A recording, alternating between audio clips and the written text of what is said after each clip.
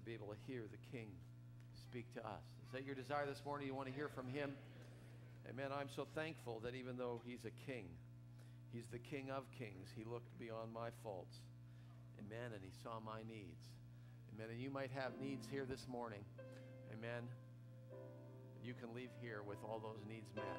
Amen. All you have to do is have faith in God. And He is here this morning to meet your needs.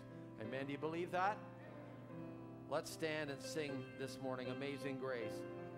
Amazing Grace shall always be my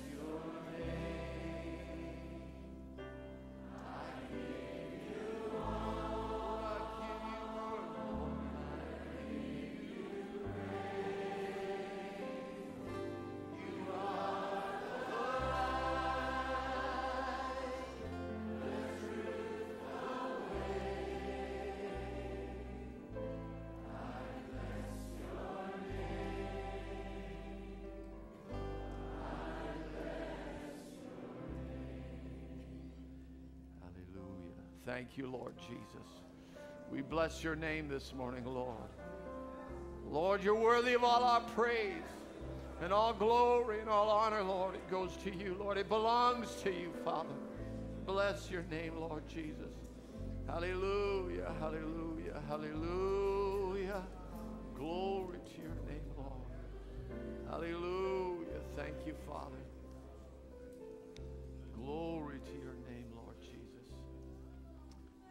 Ask our brother Chris Peterson. Brother Chris, if you'd come and open the service in a word of prayer. If you've got a need this morning, you want taken before the Lord, you just lift it to Him as we go to prayer. If you're listening in on the internet, listening in on the phone hookup, you just take your need and hold it before the Lord, and we, we will agree with you this morning. Amen. And where two or three are gathered together, He's here in our midst. Amen. Let's heads. Lord Jesus, we are so thankful, Lord, for what you've done for us, Lord Jesus. And we, Lord, we know, Lord, that it was nothing that we have ever done, Lord. It was your choice from the beginning of the foundation of the world, Lord. We just ask, Lord, that you be with us today. Lord, this is why we're gathered together, Lord. It is for you, Lord Jesus, to reveal your word to us, Lord. Just line upon line and precept upon precept. And we just ask that you anoint the minister, Brother Ed, Lord, and strengthen him, Lord. We all are getting older, Lord. We all know, Lord, that we need, yeah, we need your help, Lord. We just need your strengthening, Lord. So we just ask you to come down and be with us this morning, Lord. We just give you so much thank. We give you all the praise, Lord, for all that you've done for us, Lord Jesus. We just ask that you be with us, Lord. In Jesus' name I pray. Amen, Lord. Bless you all. You may have your seats. Amen. We want to bless his name. We want to give him glory. This is announcement for the events that will be coming up for the summer, in particular the camp announcement for August the 6th to the 12th. That um, we'll find after the convention, it will be sneaking up on us very quickly. So, Brother Byskal has asked that we be in prayer now over this season for the convention, that God will minister and speak to lives and through the various ministry that will God will use. But we want to just add a little thing there. Pray also now for the for the family camp that's coming up. Um, I'd like to announce uh, who will be speaking. It'll be Brother Aaron McGarry. He'll be taking the uh, camp for us. He's uh, graciously accepted our invitation, and we're looking to having a wonderful time. He's been a, a great blessing to the assembly and to our young people over the years, and uh, we're looking for a very, very special time. Uh, junior camp will be from August the 6th, 7th, and 8th. Senior camp will be 9th, 10th, 11th, and 12th. And as always, and it's, I'm thankful for it, there's more for us than there is against us. And I mean that by there's more counselors for us than there is against us. And we have too many, and that's a good problem. And I, I want to thank those that, uh, that have uh, submitted their names and have agreed to be our counselors this year. And if we haven't used you, uh, Lord willing, if God should give us another year, we will use you in some way or in some capacity.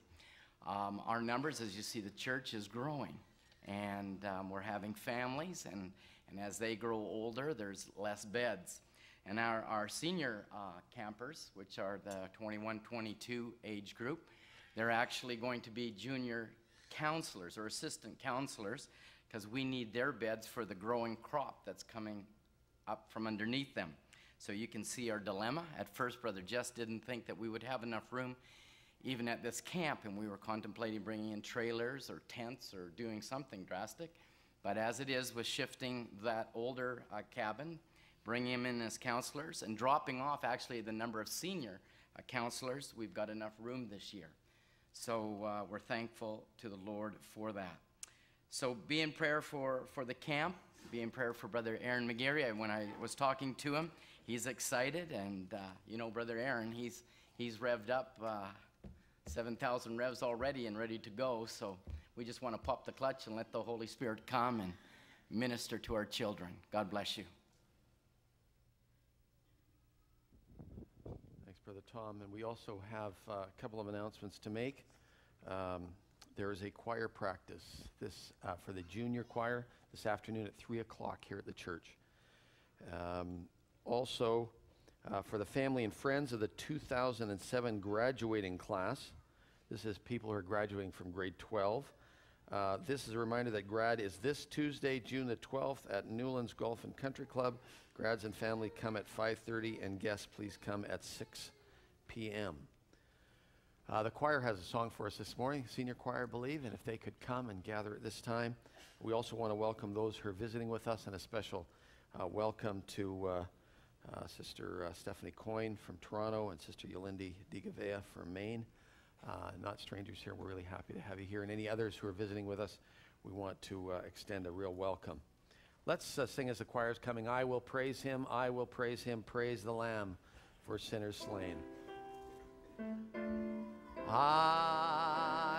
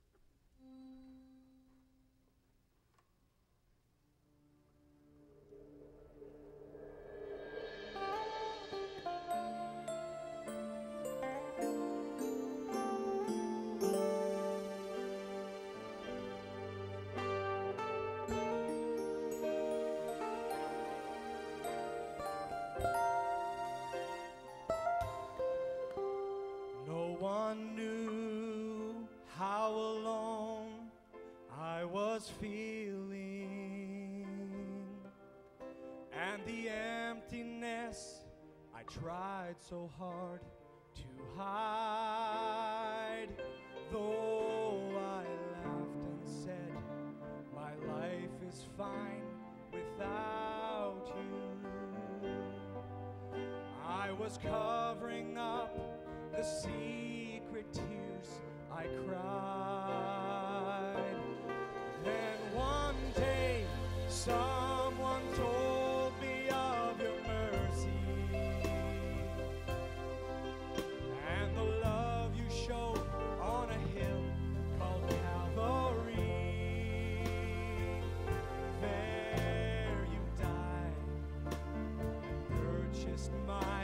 Redemption. When you broke sin's power and set my spirit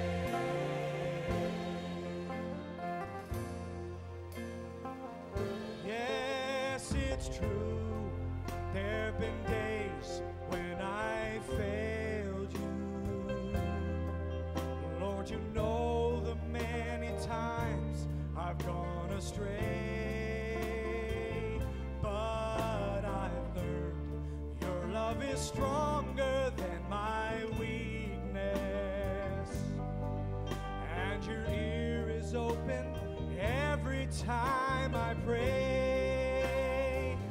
No one else has ever cared for me like you, Lord. Other friends could never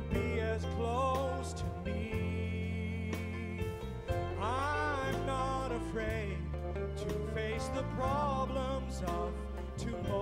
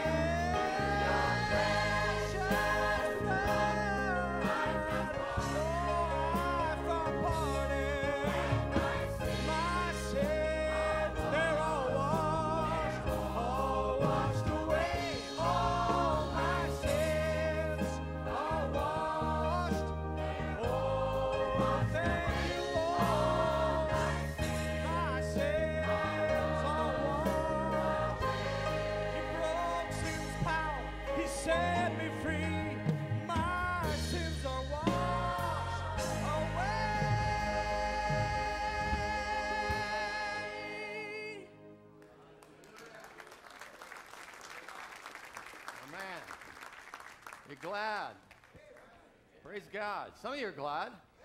Amen. They're gone. Sea of God's forgetfulness.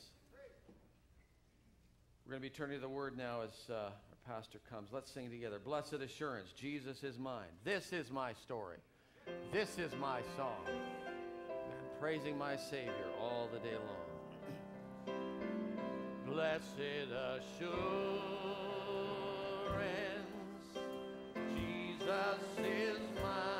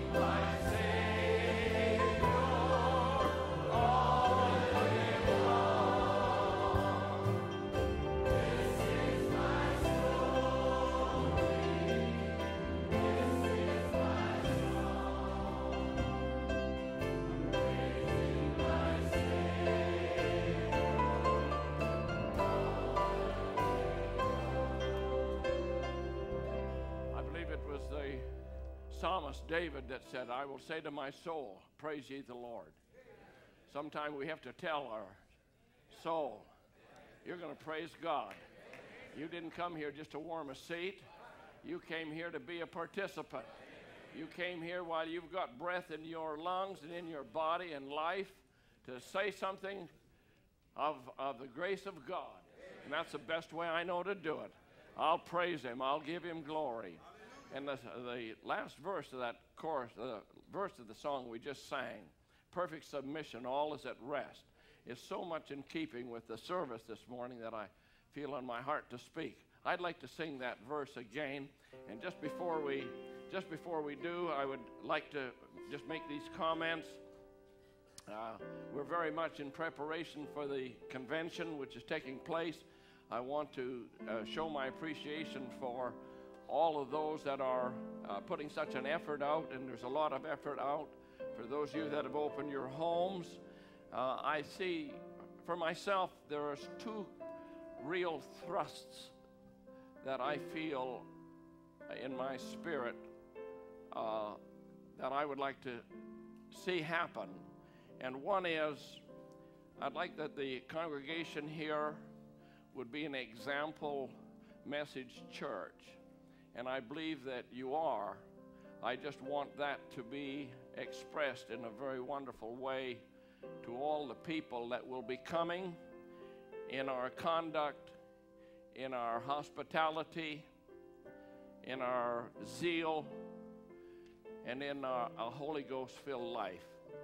I believe that we can be that and express that and be an encouragement to others so that they can visit here and say, We had a glorious time, we heard a rich word, we met wonderful people, and we go home with uh, an, an uh, edified that we want to continue with this kind of atmosphere. Do you believe that's possible? we have a message. Why, why can't we have a model message church? Do you believe it? I don't want to feel like I'm pulling a sled over dry ground now. Do you believe it? All right, then let's let's just say, well, we will do that. By God's grace, we'll do that. And the second thrust is that we it has just been my own personal uh, insatiable desire, which I never, never can get away from, neither do I want to get away from it, and that is to provide the message to the peoples of the world in the language they can understand, something that you and I so enjoy. And we just become enraptured with the words that God sent to us through his prophet messenger. That we can dedicate ourselves and say, we will do all that we can to see that this reaches as far as possible uh, to as many people as possible, to whatever doors that God opens to us. So we want to be remembering also, especially Brother Tony is uh, still in uh, uh, Brazil and attending to some things. He's got some real burdens down there. And so I also want to say you've been praying that the different pastors will be able to get visas to come. Uh, Brother Vernon from the Philippines got his visa this last week. We're very happy over that. Brother Cesar and his wife got their visas from Brazil. And uh, so there's over 70 pastors from probably somewhere between 15 and 20 countries that have now confirmed are able to be here. So we're really thankful about that. And for those of you that are streaming on the internet, uh, we, we want you to know that we certainly appreciate your prayers and your comments, and there are many. Uh, last, last Sunday, there was uh, somewhere around 170 some locations that were live streaming during the service while you're here worshiping.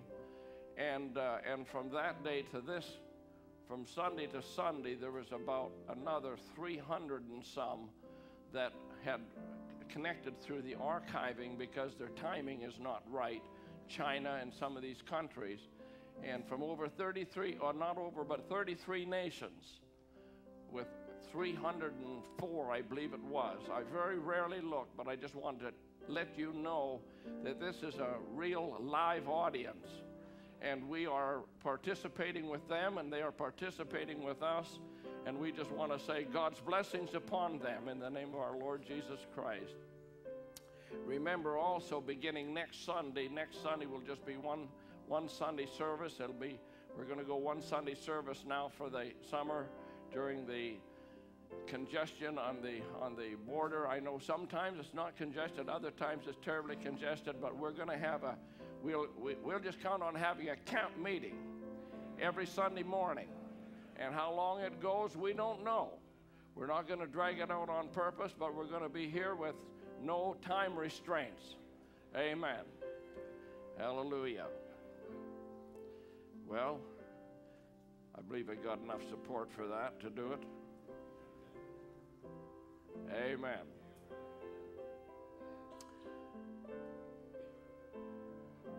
Have been praying for this service? Did you put your order in for this service? Amen. There's a baptismal tonight. Uh, at least two are being baptized. It's wonderful what God is doing, friends. One of the young men that's going to be baptized tonight is a, a real blessing. Uh, this, this is the time God moved on him last Sunday. And I understand, I can't say his testimony, but I understand. I haven't talked with him directly. But I understand he's never been to the front, never been baptized from one of our good believing families, but he's going to be baptized tonight. And as soon as he had that experience last Sunday morning, he's told our brother Tom, I just can't get enough of the Word of God. Have an insatiable thirst for the Word of God. I can't pass a message book without picking it up and reading it and devouring it. That's a good sign. It's a good sign. Hallelujah. Get hungry right away. Amen. Isn't that wonderful? There's a man here in the congregation, and he won't mind me saying this, I'm sure. But I just shook hands with him last Sunday morning coming into the service. And Brother Mike Cozzolino said, I'd like a little prayer cloth. Do you have a prayer cloth? I said, Yes. He said, I'd like a prayer cloth for my friend. So I shook hands with him. And Brother Mike Cozzolino said, This man knew Brother Tom Ray before he was married. Oh, I was shaking hands with him. So I said, So you knew Brother Tom Ray? He said, So I said, Safeway. He said, Yes, Safeway. We worked together at Safeway. He says, and then he got converted. And I thought, this is, he may not realize this, but I was, I was just stunned that over 30 years, probably 33 years, and I'm standing here in front of our church doors with a man that's seated here now. And he remembers a, one of the associate ministers here. And the first thing he remembers is before he was married. And the second thing he remembers, then he got converted. The testimony, friends. You might think it's forgotten, it's not forgotten. God knows exactly the moment and letting that light shine. Amen. Blessed assurance, perfect submission. Hallelujah. Can you sing it with me now?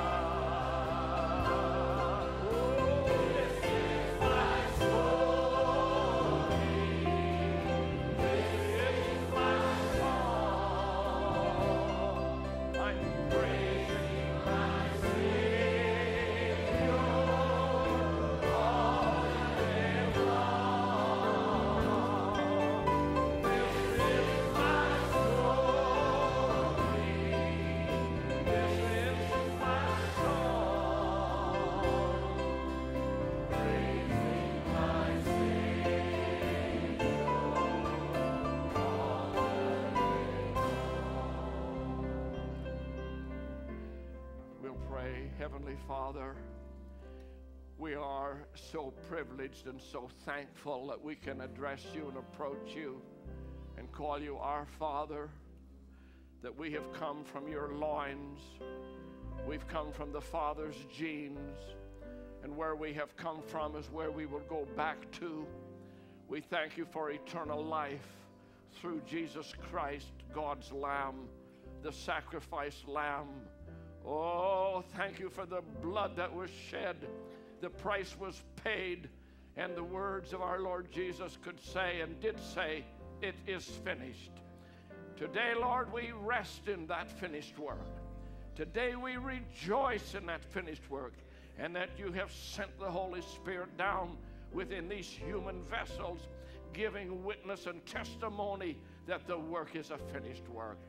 Bless this congregation, the visible congregation, the internet congregation, and all who may ever participate in this service. May the whole same Holy Spirit present here now be present everywhere, Lord. Pray you'll bless us now with a spirit of revelation as we read your scripture. For you are the author, and we're trusting you as the author. Make known this message to us, O God.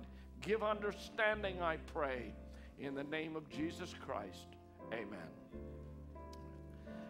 I'll invite you to turn in your Bibles to the book of Hebrews, if you would, the third chapter.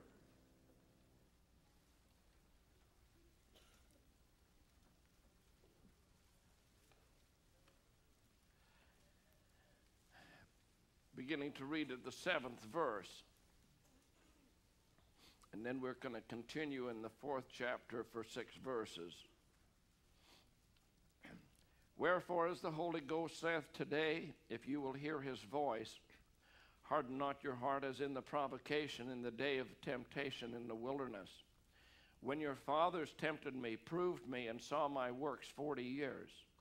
Wherefore I was grieved with that generation and said, They do always err in their heart, and they have not known my ways. So I swear in my wrath, they shall not enter into my rest. Take heed, brethren, lest there be in any of you an evil heart of unbelief in departing from the living God. But exhort one another daily while it is called today, lest any of you be hardened through the deceitfulness of sin. I want to just stop there to say unbelief. Unbelief has a hardening effect. Through the hardened through the deceitfulness of sin. Sin is also deceitful and it is hardening of, of, of our spirit. For we are made, verse 14, for we are made partakers of Christ if we hold the beginning of our confidence steadfast unto the end. While it is said today, if you will hear his voice, harden not your hearts as in the provocation. For some, when they had heard, did provoke, howbeit not all that came out of Egypt by Moses but with whom was he grieved forty years? Was it not with them that sinned, whose carcasses fell in the wilderness? And to whom sware he that they should not enter into his rest, but to them that believed not? So we see that they could not enter in because of unbelief. Let us therefore fear, lest a promise being left us of entering into his rest, any of you should seem to come short of it. For unto us was the gospel preached as well as unto them. But the word preached did not profit them, not being mixed with faith in them that heard it. For we which have believed do enter into rest. As he said, As I have sworn in my wrath, if they shall enter into my rest, although the works were finished from the foundation of the world. For he spake in a certain place of the seventh day on this wise, and God did rest the seventh day from all his works. And in this place again, if they shall enter into my rest, seeing therefore it remaineth that some must enter therein, and they to whom it was first preached entered not in because of unbelief. It remaineth that some must enter therein. God bless you as you have your seats.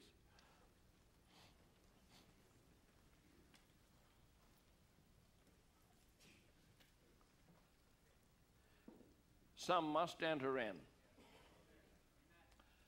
It remaineth that some must enter in. I'm glad that is in there. I identify with that. I'm, I'm some of that must. I'm one of those. You're one of those. That's got to be a personal witness within your own soul. There are some that must enter in, and I'm part of that group. Amen. And to enter in, and uh, the word that Paul has used here is not just to enter as we may think of entering into a place such as this, but the, an entrance into any condition. An entrance into any condition or to, and the word also implies to arise and come into existence. In other words, prior to this entering in, we may be the person that we are, but we don't, we haven't really come into our existence. We haven't come into what we are to be or what is intended for us to be. And so Paul is saying here and using this word throughout these two chapters. And if you'll notice, please, that the Bible is calling it, God is calling it my rest. Not your rest, but it's my rest. God's rest. We're entering into His rest. That's what the scripture is speaking about. And only by coming into His rest can we really be in the right place. Only coming into His rest can we be, can we come into what I would say true existence. Outside of that, we're not having a true existence. We come to life and to come to come into real true existence or our real true condition right at this time of the year, we've, in this part of the world, at least in North America, United States, Canada, our students are completing school, many of them, completing their 12th grade of education, looking forward perhaps to further education, and uh, we will have uh, grad ceremonies, many of you, in the next couple of weeks. So you'll be completing and concluding that part of your life, your education, and looking forward to whatever else you might be doing. A lot of decisions, decisions will be made at a different level now when the young people come into that uh, time. And you'll be facing challenges, uh, uncharted waters that you've never traversed new pathways, and we can say decisions, decisions, plenty of them.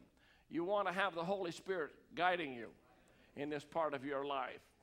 And for those that are looking towards uh, further education, some field of education, uh, I understand that many colleges, uh, universities, they require an entrance exam. And there is an entrance procedure. There, they may require, and I, I looked into it because that's what I'm speaking of entering in to this rest, entering into this condition, entering into your true existence. And now, some of you that have finished this phase of your education, you want to enter into what I really want to be, what I expect to be, what my true existence will be in life. I'm going to be this or I'm going to be something else, and I want to prepare myself. And so now I need further education to, to uh, get the kind of uh, skills that I will require for the rest of my life, and even to enter into what your true existence will be, you've got to have a, uh, you've got to go through some procedures for your entrance exams. And it said, um, uh, you must try your best to perform well on these exams. And I can say that is true also in the spiritual sense. Your performance on the required entrance exam is only one part of the admission criteria. Other criteria include your grade point average, uh, or your marks, your scores, uh, letters of recommendations, perhaps essays, etc. This is just for natural education. You are well advised to take these exams seriously. And if that applies there, how much more so now? A sound preparation can enhance your performance significantly. Help is abundantly available, and I can say that is certainly the case here. Help is abundantly available in the form of information on the web and books and coaching and classes. Research what is, be- research what is best for you and what you can afford. Well, let me say to you, you can afford this. And we're having not merely a convention, we're not having a convention, have a convention, we haven't had it for 10 years. And as soon as we announced we would have that, you know, then Brother Tom, some of the brothers here asked, Well, will we have family camp? I said, I believe that we need to have family camp. I don't think that our, our people will forgive us if we don't have a family camp because it's a great time when it's, it's not a convention atmosphere, it's a family camp atmosphere where parents are mingling with their children and, and our vision and desire. I think this is 21 years. Every year we've had family camp and have gone from probably 60 young people to almost 400 young people, and uh, from maybe two, 300 on the camp, or maybe even less than 200 to last year, I think they filled a thousand seats. We had rented, had a thousand seats under the tent. And this is not just a, you know, this is not a, a time of frivolity and just and so on, but it's a time when family relationships are forged together when mothers and fathers are able to be with their young people and the desire because out out in the world the spirit of the world is so uh, intent on destroying the family the family ties and that's the first thing that Satan did in, the, in Eden was dismember the family. And we are opposed to that. We are absolutely directly opposed to it. We believe in the family. We believe that God has ordained that we shall have family. And I believe as father, as a father myself, you can't take my place, I can't take yours. But as a father, I've claimed my family for God. Hallelujah. My children and my children's children. And I say the devil's a liar. Hallelujah. And whatever he may attempt to do, and whatever he succeeds in doing, I don't call it an ultimate success. I call him an ultimate failure. And the, and the promise of God is yea and amen. Hallelujah. And I won't let anyone take that away from me, and don't let anyone take that away from you. If you want to follow in the footsteps of your pastor, you can follow in those footsteps. God's word is true. Hallelujah. And we believe the, the circle shall not be broken on the other side. Hallelujah. Say, well, what if it looks impossible? God is a God of the impossible. Hallelujah.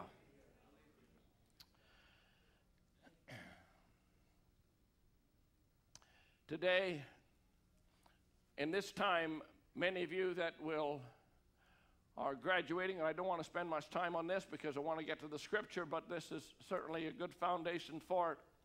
You will be making more decisions I went and heard a woman a few years ago speak to a graduating class when some of our young people were graduating out of the 12th grade.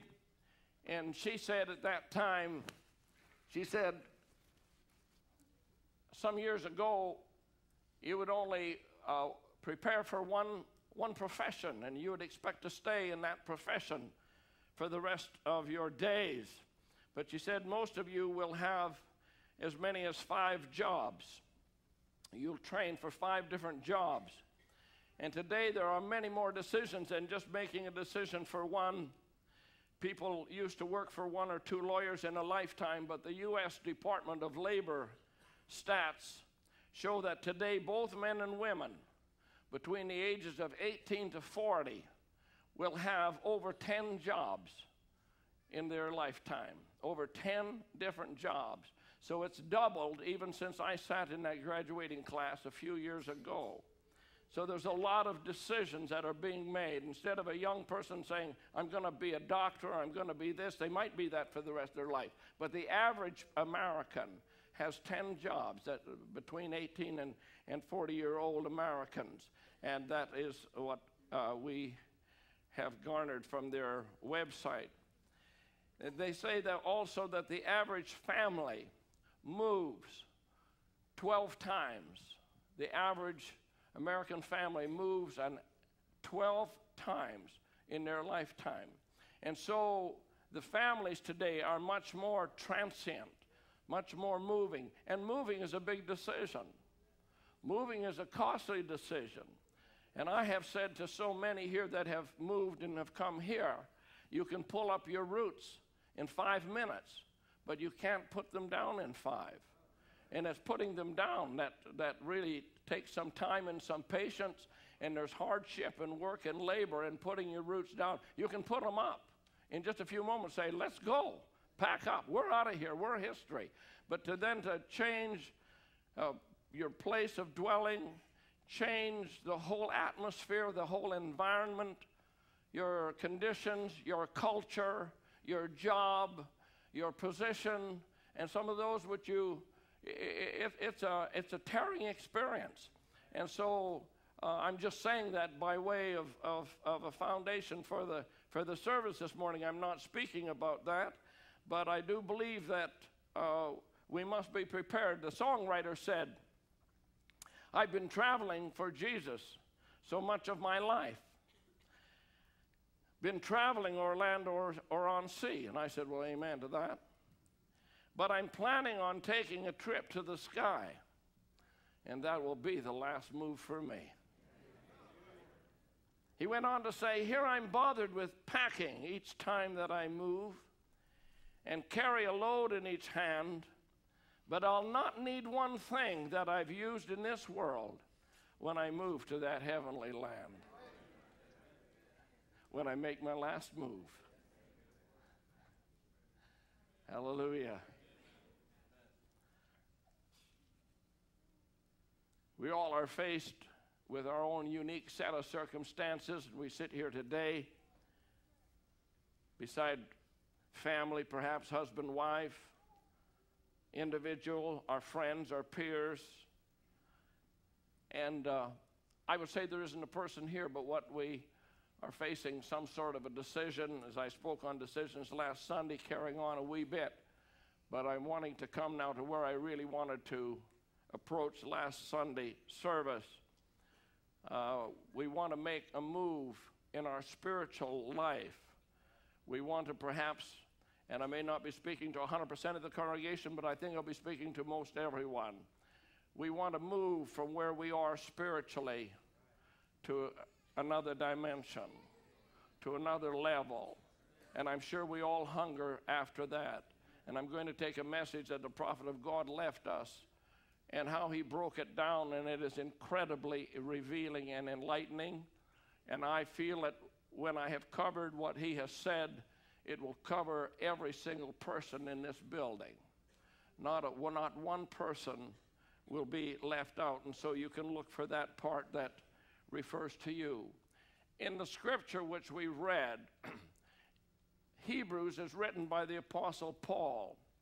And the Apostle Paul is writing to the Hebrews, and he has two main concerns because they are Jews, and he is a Jew and he can understand what it is to because they're, they're, they're leaving one element and moving to another, and that is the, they're, they're leaving essentially the law and all of its all of its regulations and all of its washings and all of these things.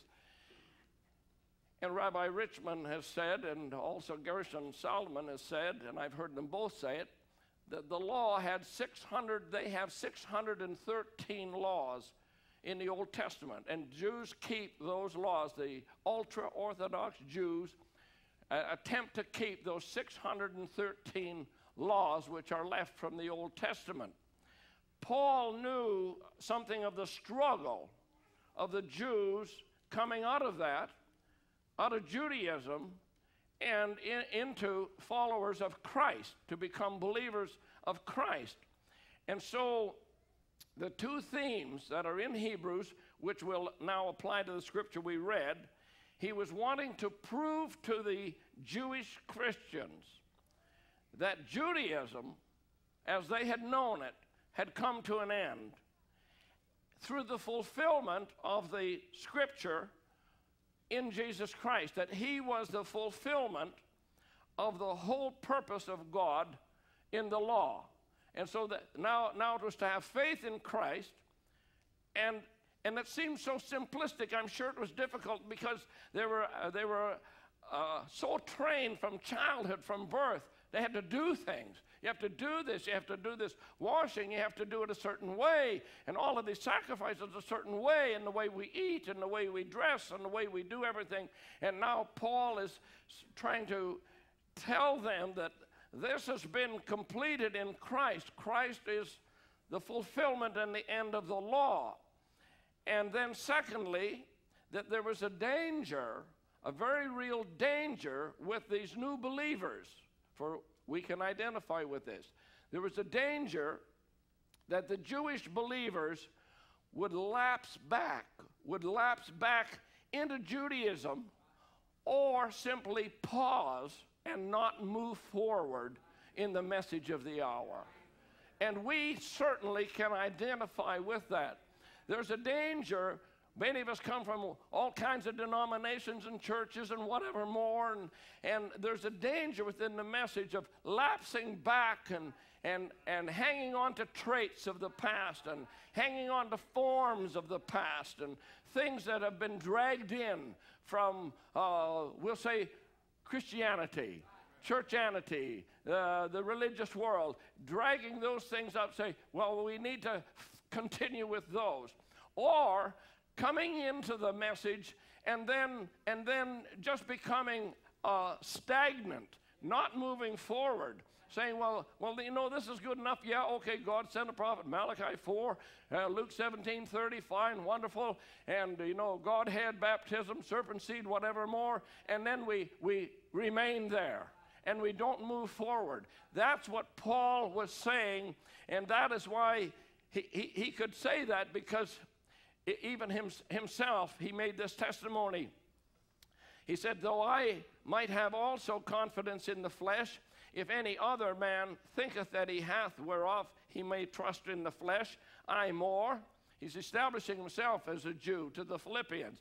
He said, I'm circumcised, circumcised the eighth day of the stock of Israel, of the tribe of Benjamin, and Hebrew of the Hebrew, as concerning touching the law, a Pharisee, and concerning zeal, persecuting the church, touching the righteousness which is of the law, blameless.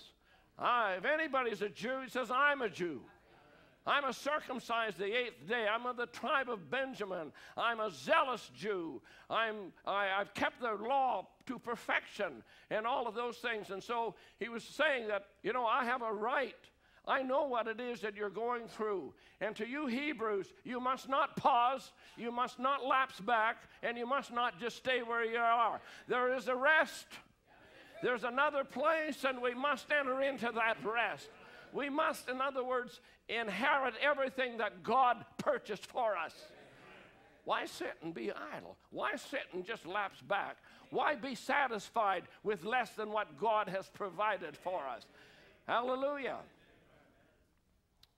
So Paul could say, as he did in, Hebrews 6, he said, Therefore, leaving the principles of the doctrine of Christ, let us go on to perfection, not laying again the foundation of repentance from dead works and faith towards God you know, there are some even within the message say, well, I'm just staying with the ABCs. I'm just staying with the ABCs. Well, I can tell you, Apostle Paul would rebuke anybody saying that, saying it's much more than ABCs. Some people want to stay in their own comfort zone and just say, well, I just, you know, stay with the simple things. It's, it's uh, hey, whatever, whatever the prophet of God delivered, that's what he intends us to eat. God didn't send it to us to, you know, just to look at and put it and hang it on the wall and put the book in, uh, in as a, as a, a display in a cabinet or something. God intended the people to participate and take a hold of it and to have it lived out. There's a message for this hour. Amen. So, leaving the principles of the doctrine of Christ, let us go on unto perfection, not laying again the foundation of repentance from dead works and faith towards God. So, Paul is saying, let us move on from that. Perfection, in this case, the first word that perfection means is a finisher. Paul was a finisher. Paul said in, in Acts, the 20th chapter, he said, And now, behold, I go bound in the Spirit unto Jerusalem, not knowing the things that shall befall me there, save, except he knew this, save that the Holy Spirit has witnessed in every city, saying that bonds and afflictions abide me. So I don't know what's going to befall me completely, but the Holy Spirit has also witnessed that in every city, bonds and afflictions uh, abide me. Those things will be with me. But he says, But none of these things move me. Neither count I my life dear unto myself, so that I might finish my course with joy. Not that I be dragged out in the end and get through by the skin of my teeth, but he says, none of these things. And listen, friends, we don't want to take this as a sermon this morning. You've got to apply it to your own self. The Holy Spirit witnesses to me that I'm not in a Sunday school picnic. The Holy Spirit witnesses to me that this way won't be an easy way. Whatever my future is, the Holy Spirit witnesses to me this will be a battle, and the prophet says, I'll fight for every inch, and you've got to be resolved in your heart. I'm prepared to fight for every inch. Nothing shall move me. None of these things move me. Can this congregation say amen? Down in your soul, can that resound an amen? Nothing shall move me. Don't be caught in my inspiration, be caught in your own inspiration. Don't be caught in my witness, be caught in your own witness. None of these things shall move me. Nothing that Satan can throw in my way. No enchantment, no enticement. Hallelujah. Nothing of these things shall move me. I know that there's afflictions that abide me. The Holy Spirit witnesses this won't be an easy way, but I'm going to finish my course with joy. That is perfection.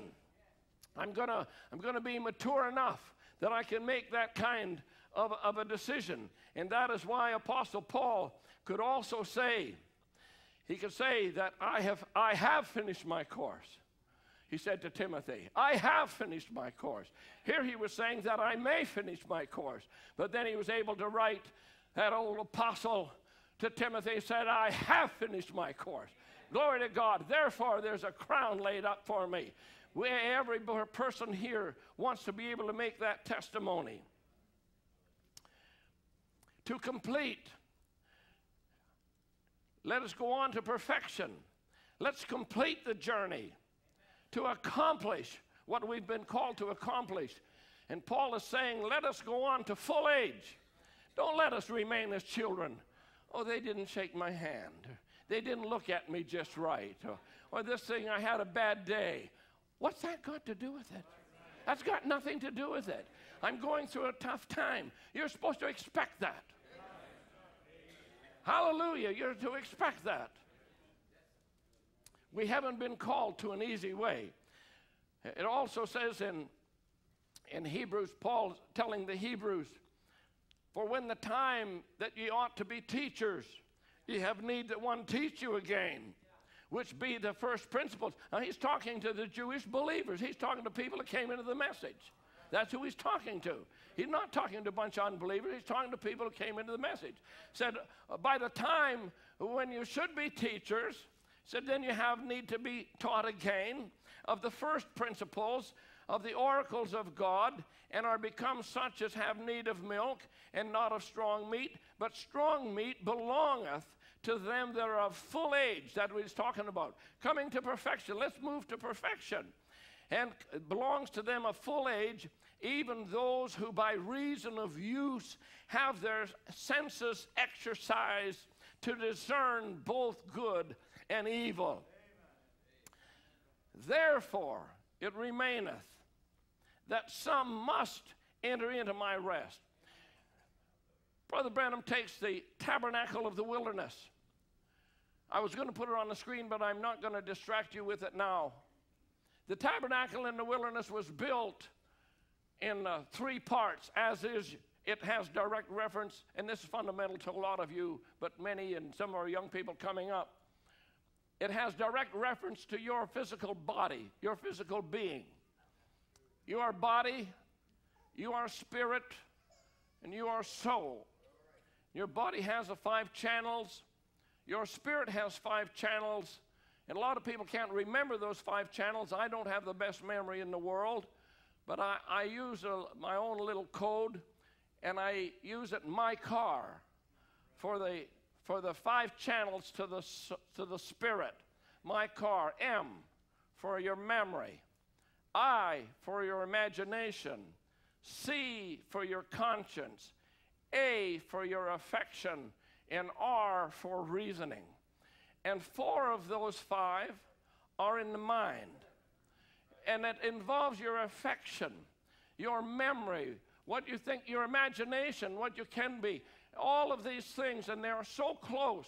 Now, the, the scripture which the prophet used all the time throughout his entire ministry is this one For the word of God is quick and powerful. Now, here's where Pentecost and so many religions and so many theologians and men of great learning, they missed it completely. Because when the prophet of God was standing there discerning the secrets of the people's hearts, they thought, what a marvelous gift. Oh, God has given a gift of discernment. It was no gift of discernment.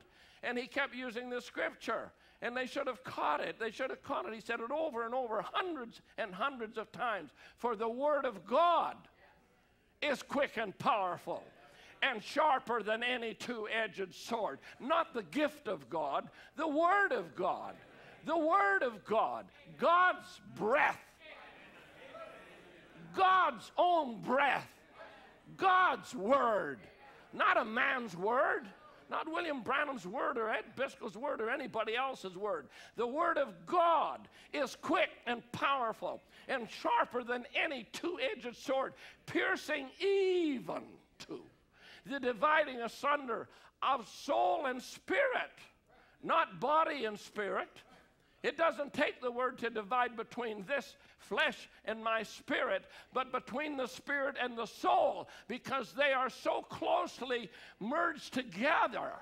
They're not one, but they're so closely merged together. That's why when a lot of young people are coming to uh, the state of the emotion that's involved with courtship and, and who I'll marry and, and marriage and so on, it is so close, that emotional, that highly concentrated emotional area and, and, and, and, I say, you know, well, are you really certain? Well, yeah, I'm, I'm absolutely certain because, you know, because of this and I've seen that sign and et cetera, et cetera. And only the Word can actually divide between what is spirit and what is soul. Only the, only the message of the hour. Only. Theology can't do it. Catechism can't do it. Sunday schools can't do it. Uh, even preachers can't do it. But the Word that comes sent from God out of the messenger's mouth can divide. It has a, it has a surgical accuracy to divide between the spirit and the soul. And the word can divide between the spirit and the soul. And so we have now the outer court, which is the, your body. We have the inner court, it's called also the holy place, which is your spirit realm. And then, and then there is the Holy of Holies. And there was a curtain between the holy place and the Holy of Holies. And in the outer court, the people, congregation could come. In the inner court was where the priests came to minister.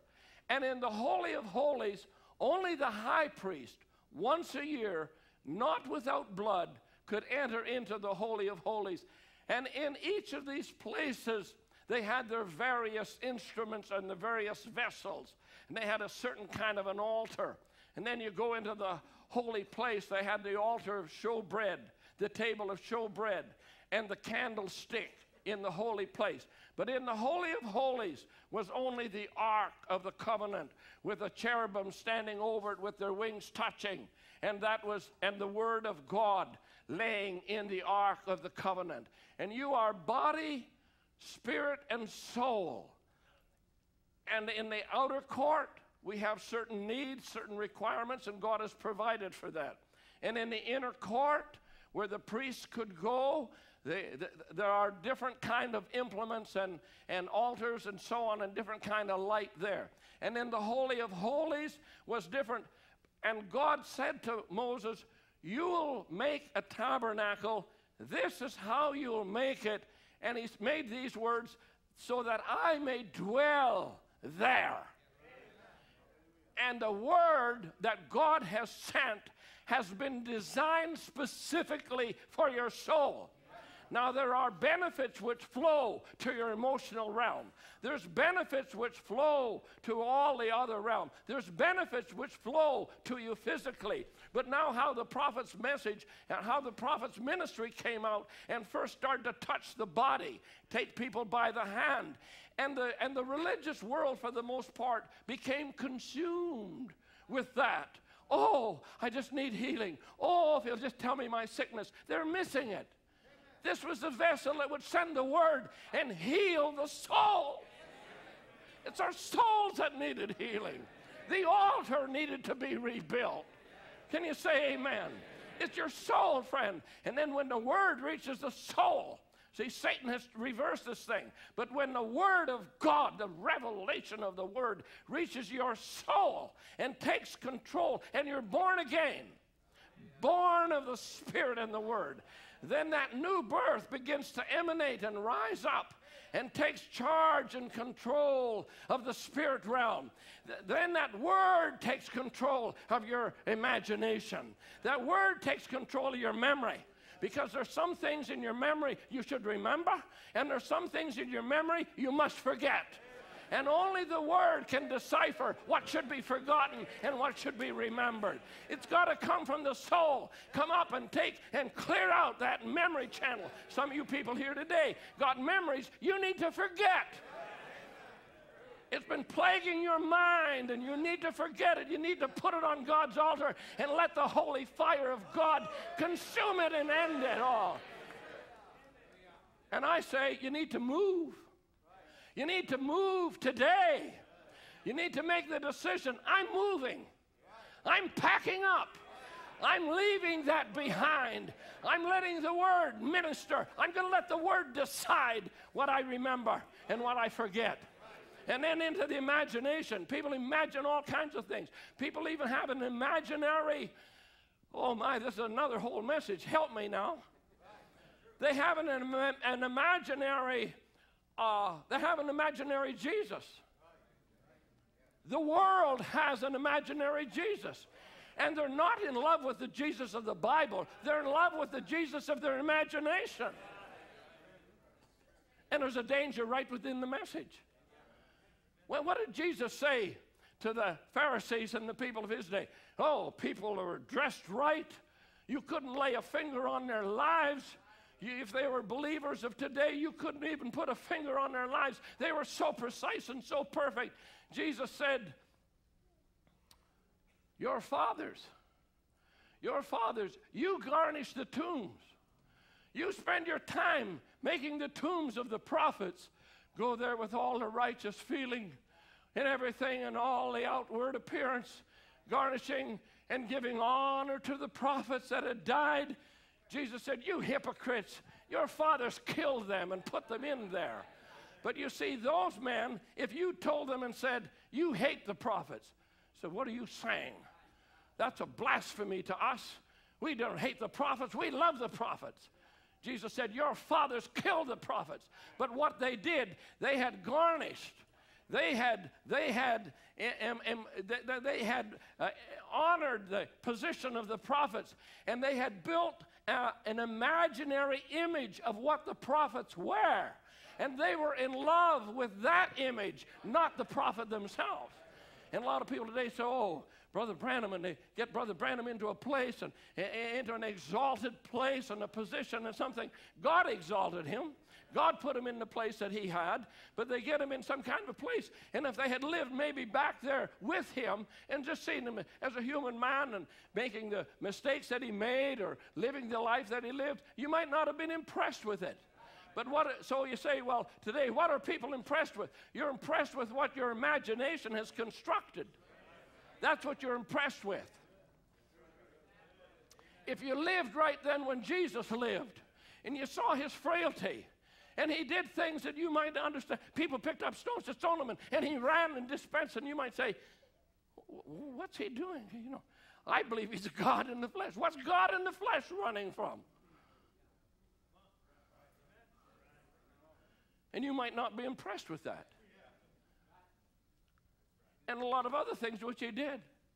He was weary and maybe sat, just healed somebody lame and, oh, and lay over here and with a headache. Tempted in all points, as every man. Tempted in all points. Is that what the scripture says? But the image that people have constructed is a Christ that never was tempted, never had any difficulty, never was anything. That's you're in love with your image. You're in love not with the real person. You're in love with what you've constructed him to be.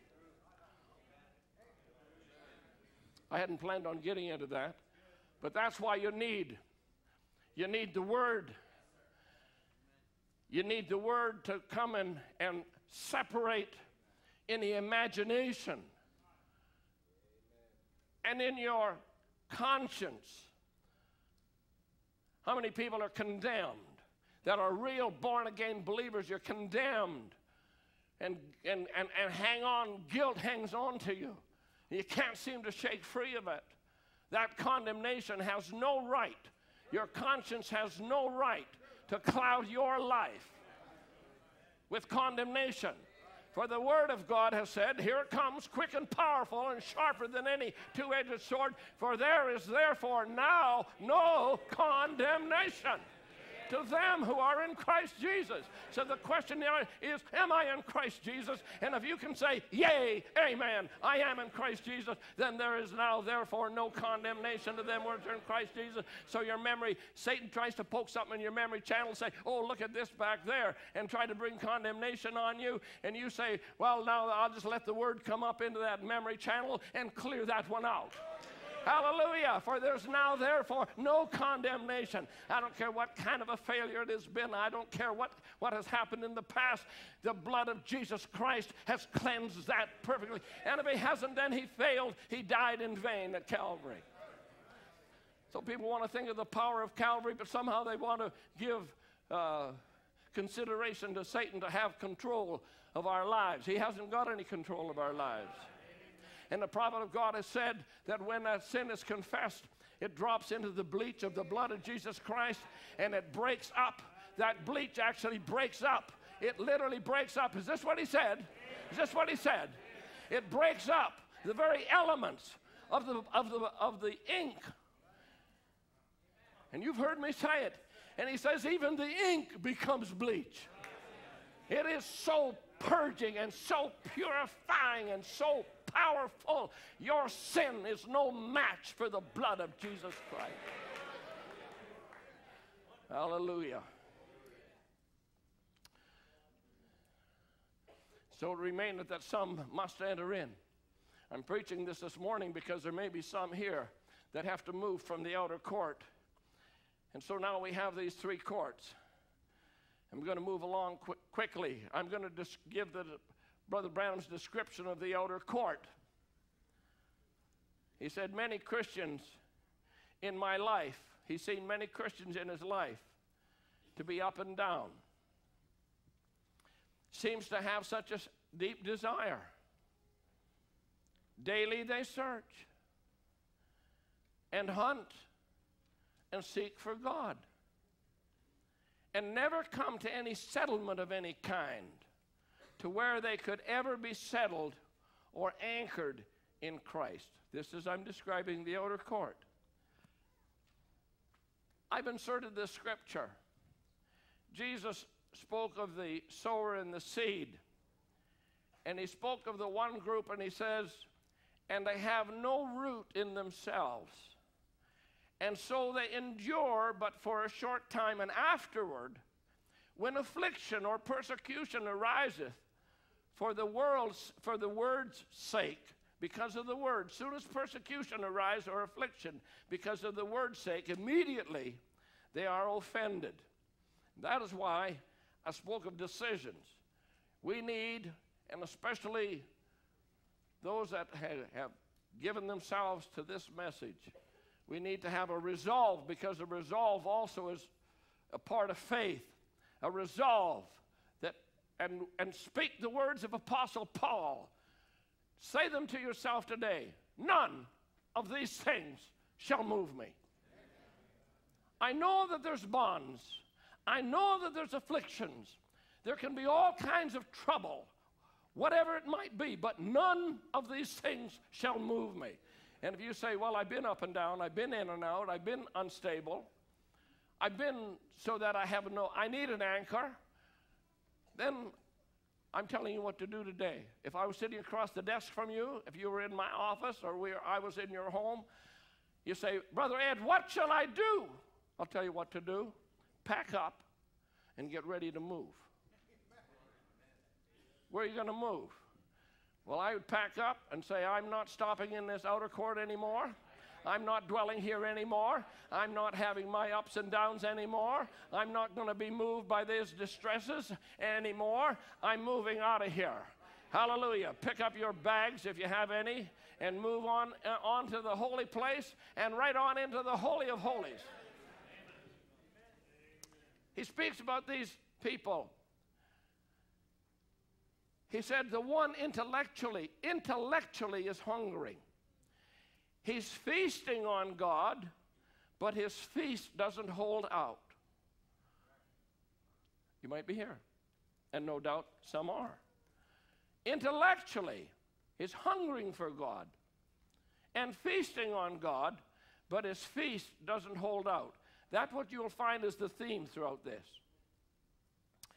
He went on to say, Many people go to the service, such as we have this morning, they rejoice.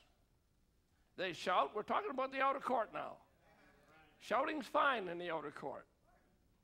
Hey, and the outer court, you say, well, oh my, I just feel it. That's fine.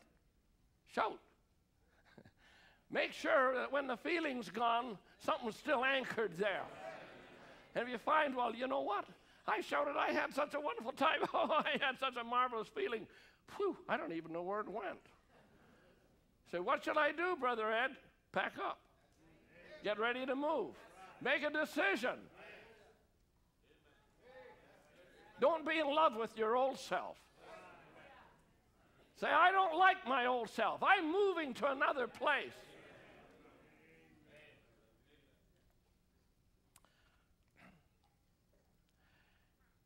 says they have they shout and they praise the lord and while the spirit of god is falling all condemnation left their hearts.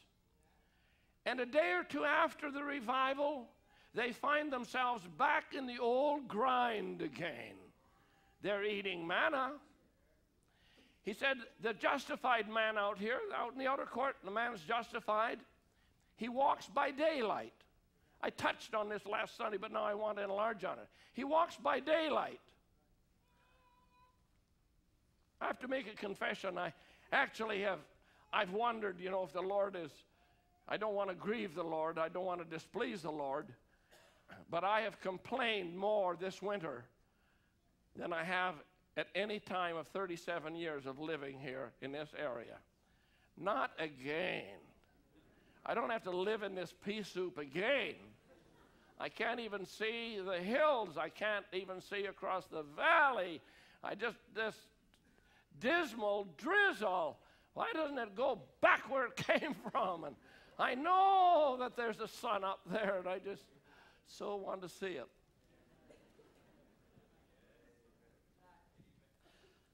Do I have any friends?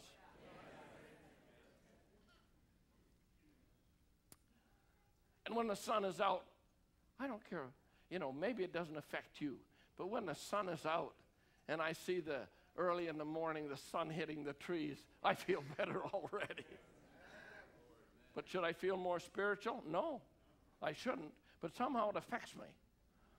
And so I, I realized right away I better pass through this outer court real quick.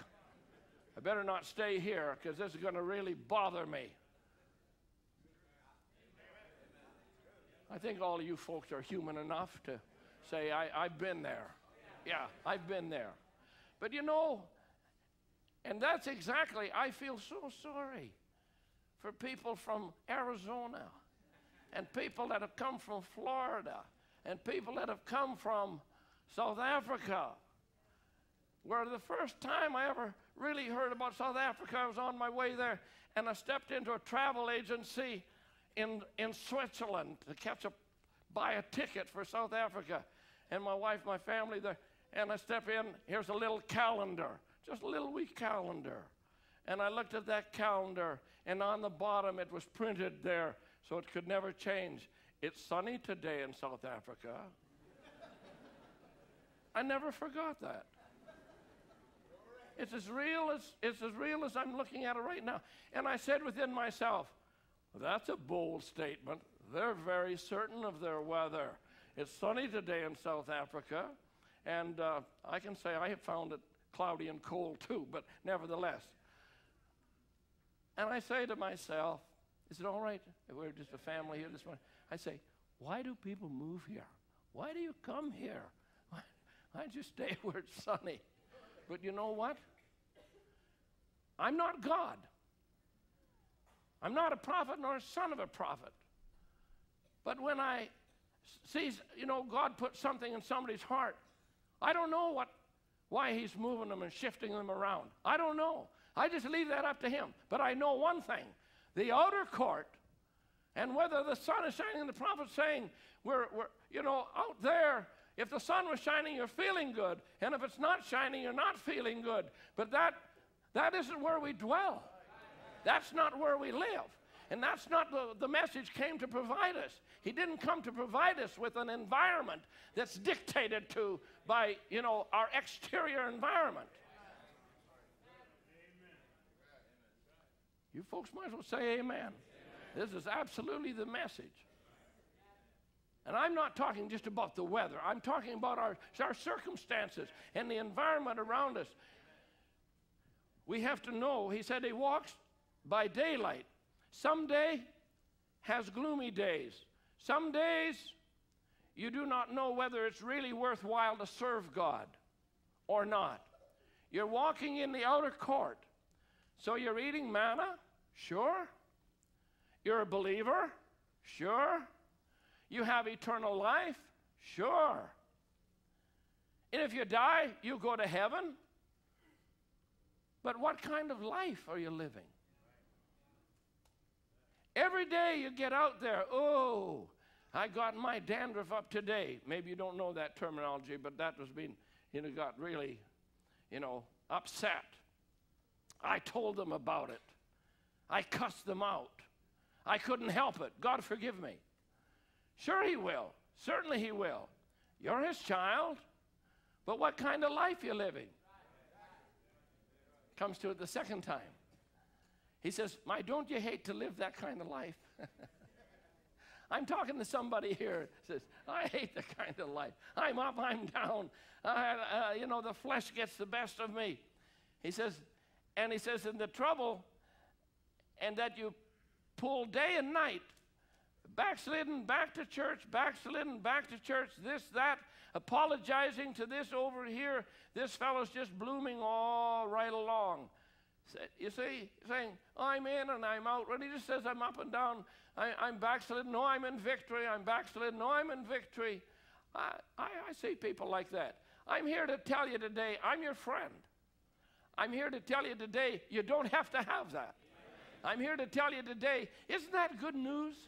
Isn't that good news for somebody here? You don't have to be on the bottom. You can feel on the bottom, but you don't have to be there. You're not ordained to live there. Out of fellowship, into fellowship. You're not ordained for that. You're not made for that. Hallelujah. You're not made for defeat. Some say, I've heard the odd criticism against our ministry here. They say it's too positive. Let me just tell you, plus all the critics that might say that, we're not nearly as positive as the prophet said we should be. Because I have all kinds of negative things come by my way, and I spend too much time on it. Because you know it bothers you and it troubles you and so on, and you get burdened, and you've got to stop it when it's just a burden on your heart, and don't let it uh, occupy your mind and start affecting your life. Because I don't like that kind of life. And he says, What kind of life you're you living? I want to live when he talks about just steady all the time, blooming all the time, victory all the time, love all the time. That's what he said. And that's what I say is a positive message. I'm going to make that confession. You need to make that confession. That life is my life. That's what God purposed for me. All right? That's the outer court. And that's the, if the description fits, you should make a clear cut decision to move. I don't care whether you move here or where you move physically, that's irrelevant. Now I just want to go for a short moment to the to the next to the next place, and that is probably should have spent a little more time on it, but the that spirit realm or in the tabernacle was the holy place. And then Brother Branham says, well, he comes into the court now. What's in there? There's seven golden candlesticks. And by, by that holy place, and it's giving light. So now he said it's a better light. The candlesticks are giving light. And that's to the man, he quits his drinking, quits his smoking, quits lying, quits stealing, treats his neighbor right, good to his wife or her, good to her husband, in the same way, a man or a woman, the believer, he comes into a place where he's quit all his meanness, which is through the blood of sanctification. He's called to a new life, and he walks in there. See, he's moved, he's walked in there. He doesn't have to walk by the light out there. Whether the sun is shining, whether it's gloomy, whether, whether, whether he just lost his job or got fired or all the environment or whatever's happening in school, whether you passed with A's or you barely got through by the skin of your teeth or whatever happened out there, that's irrelevant to this man because he's not, he's, he's got another light. He doesn't have to walk by the light out there, he's got a better light. He's walking by the light of the seven golden candlesticks, which is burning olive oil, and the olive oil was representing the Holy Spirit. The fire was the baptism which brought baptizing. So now this man is moved. And you know, a lot of people in the message just want to stay there. That's all they want to stay. Are you baptized with the Holy Ghost? Are you baptized with the Holy Ghost? Let me tell you something. You're not into the, you're not into the next department yet. You're not into the Holy of Holies yet. You can have the gift of the baptism of the Holy Spirit, but remember, it's still just a gift. Brother Branham said to me, he says, This took a pen out of his pocket. He said, This is a gift of the Holy Ghost, but this is not the Holy Ghost, the very person of the Holy Ghost. Can I say it again? Something that you all know well. Justification made way for sanctification. Sanctification made way for the baptism of the Holy Ghost. And the baptism of the Holy Ghost made way for the Holy Ghost Himself the person of God Himself coming and dwelling in your being. And so now this person has a better light. Brought into baptizing or even baptized right in there by the Holy Spirit. But you're not hid away yet. You're not behind the veil. So if anyone comes to you, and even during this convention, coming, and that's, that's as far as I said, Oh, you need to be baptized with the Holy Spirit. I find people use that to destabilize people. I'm telling you, I'm giving you some sound instruction. Some people are, are rather forward and maybe intimidating, say, You think you have the Holy Ghost? Someone says that to you, you look, check down your heart, look up right in their eye and their face, and say, I certainly do. What do you got? Because often people will use that tactic to destabilize a person. So they say, Well, uh, uh, say, I got something for you. I got a special doctrine. I got a special revelation. And all you need is this.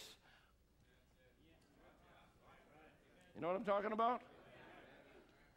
You want to know where you stand and know what you have and don't be ashamed of it and say, I certainly do. I've been birthed by this word and it's been, I've been birthed by the word and by the spirit. Hallelujah. Quickly now. But he says, even in here. here. Here's the problem with this place. But there's days when those lights get dull. There's days when the lamps smoke and the light's not so good. There's time when those lights have to be relit again. And you have to borrow a little from a neighbor to light one candle to the other. It's still not a good light. We're thankful for it, but it's still not the right light. I'd like to say this to conclude these two courts. In these two courts, the outer court and the inner court, these are two places where the battle really rages in the mind. Because the mind has not come, the, the, the channels of the Spirit are still very active. I hope I can get this across to you. The memory and the imagination and the conscience and the reasoning and the affection. Well, the affection can do serious damage. And all of those five channels, I want to say to this congregation without any apology, every one of us are afflicted in those channels if we allow Satan. Now, he will use every opportunity that he possibly can, he will use every device, he'll use every circumstance to get into one of those channels and begin to cause you distress and to occupy your thoughts and to keep you captivated by it. The prophet said the Holy Spirit needs to blow those channels out. And you know, when he says it that way, I, I gather from that that he's not saying it in a very uh, a delicate way. He's not saying that, you know, we just need to have a new flow and we just need to have something nice happen. He's saying the Holy Spirit needs to blow those channels out. We need a blast from God. He tries to, he tries to cabbage down. He tries to get his roots down and he needs to be removed. He doesn't go simply. He doesn't go just, you know, by invitation. He has to be driven out. I hope this means something to you. Now, the prophet said that this battle, which was in heaven, and you know this so well, it's, it's from the greatest battle ever fought. This battle, which was between the angels in heaven, and Satan was cast out to the earth. He said, when this great battle started on earth, there had to be a mutual place, meeting place. There had to be a place selected for the battle to begin. And this word, I don't want you to forget it, and for this battle to rage. For this battle to rage, and that battlegrounds began in the human mind. Your mind is a mutual battleground that's been selected, and both and Satan has a right there to that ground, and the warfare will take place in that ground. And I say that that really rages in the outer court and in the inner court. Those two courts is where this battle really rages. You say, well, what is the answer? I'm going to dwell on it now for just the next, uh, until I close.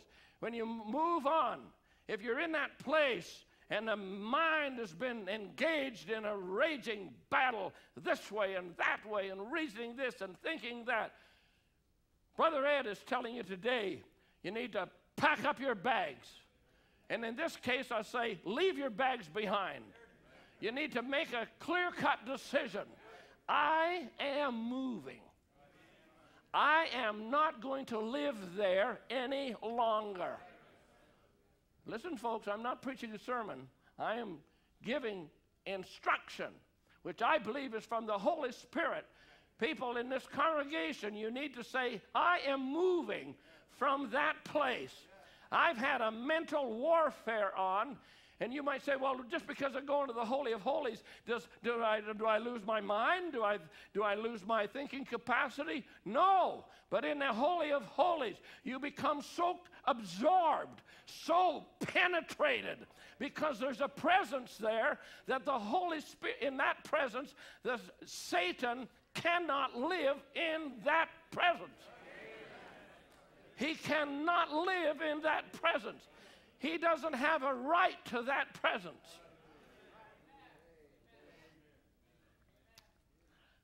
I'm going to go to the one.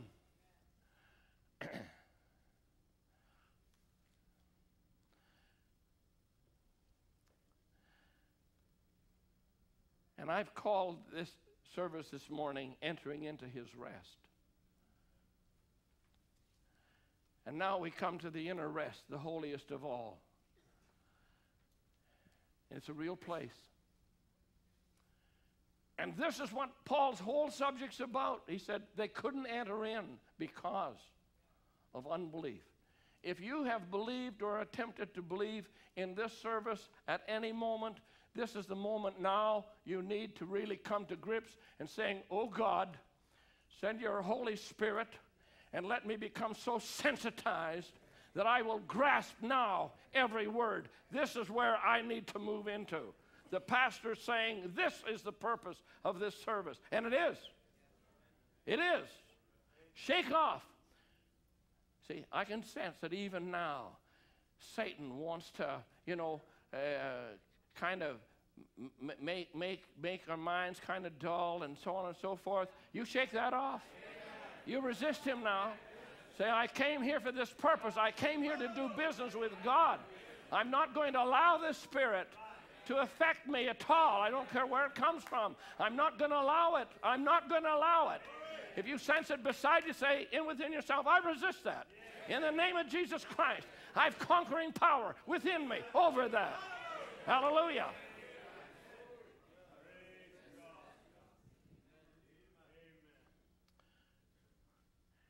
Here's the inner rest. Here's the person. Here's the prophet's description of the inner rest. Is not tossed about, does not run from place to place, doesn't fuss and fume and worry about things. He says sickness may come, disappointments may come. There isn't a person here. That's us, friends. There isn't a person here that hasn't had disappointments, hasn't had sicknesses come.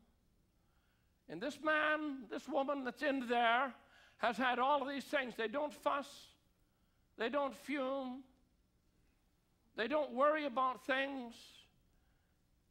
And he says this now I'm coming to the real crux of my message this morning, the thing that's really burning on my heart. And I'm determined before God that this is going to be conveyed to you and it'll be off my hands, and the Holy Spirit's going to bring it to your mind. He says, But the Christian's at rest. He keeps saying that. The Christian is at rest. It's the rest that Paul is speaking about there remaineth that some must enter into this rest. It's for us. I identify. I say, Apostle Paul, you're prophesying about me. In this day of distress, in this day of violence, in this day of inequities, in this day when we travel around the world, I tell you what, you know, I, I got distressed. I had some distress, not the kind that I'm just preaching about, but I had some distress within my heart. While in Uzbekistan, people earn $30 a month. An average salary is $70 a month. Average salary. A very well paid person is $150 a month. And before I left, before I went there, I just felt in my heart I, I w- would like to do something. The poor have always been on my heart. And I see children and I see them in slums and say, I want to do something for them. You know, it's, it's not easy. I said to a minister, I said to a pastor, and I just related it the other day. I, I said to a pastor, we were traveling on an airplane, sitting beside me, a good pastor, this message. I call him by his name because he's a good friend. I said, I'm going to ask you a question. And I don't want you to answer me too soon. I want you to really think this out. And when you're done, I'd like your answer. Right now, here's a million dollars cash. I'm putting it in your hands. You have a million dollars cash for the gospel, for the message. You have a million dollars cash. I want you to tell me what you're going to do with that.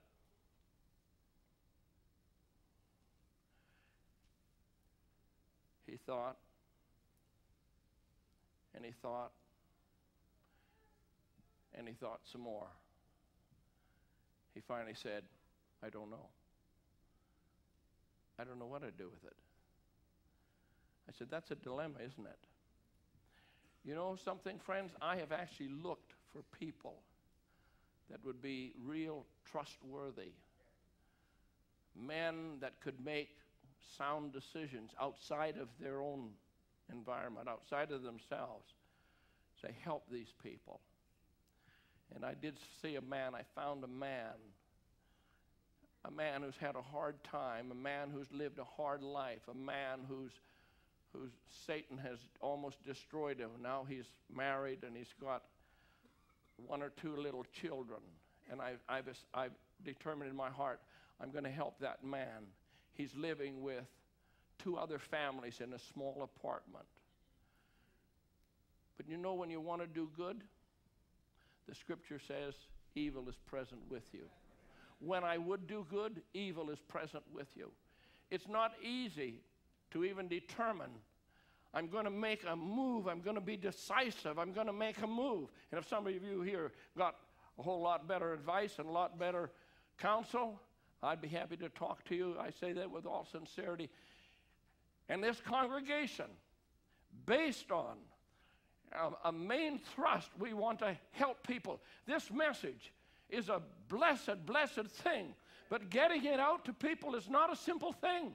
It's not a simple matter, but I will not be deterred from getting something that fed my soul to someone else that to feed their soul. Oh, they say, well, they speak another language, and I won't let that hinder me. You, we won't let that hinder us. We'll get it to them some way, somehow. Are you with me? And I appreciate people that we're going to live this life and and do whatever we can. So these people, and now he says, and I, have got to get to this, just give me about 10 more minutes, I'm going to close. He said, But the Christians at rest, knowing this, that God, God's able to keep that which he has performed, knowing that no matter what the thing is or how it looks, there's neither sickness, sorrow. Let me start with that and let, let you say amen. There's neither sickness, sorrow, death. There's neither starvation or anything that can separate us from the love of God that's in Jesus Christ. There's nothing. And that's why that person who's in there, now get this, here it is, moving from the outer court. He, the weather's this, my job is this, my marks is this, so, and, and, and we're affected by that. Move into the other place, we got a better light. Oh, I feel the Holy Spirit. And, and, and, but then it kind of, you know, the flame goes out and, and the smoke's up. And, and uh, we find out that that's not a perfect light. And then we find that there's another place. The difference between the outer court and the inner court, there is a knowledge. It's called a knowing when a person gets into that and you get into that presence, you know something that you couldn't know out there and out there. There's a, a special knowing. Those of you that are married, you try to tell someone who's unmarried what it's all about. can't really do it. So the only way to know, the only way you can really know, is you get married and you'll know. You never had children? Don't have children? Don't have children? You can never really know what it is till you have them. And when that mother's gone through childbirth and holds that baby, and the father is there, and then they bring up that child, and you see it grow up through life. Try to explain that. Try to give a scientific formula. There is no formula until you've done it. And there is no special formula that I can give you what it's like to be in that place. but I can tell you, you'll know something when you come in the presence of the Almighty God that you'll never know anywhere else. And there's a knowing. And that's why the Apostle John could say, We know that we are of God. How did he know that? He'd been in that place. We know we're born of God. How could he say that? He'd been in that presence.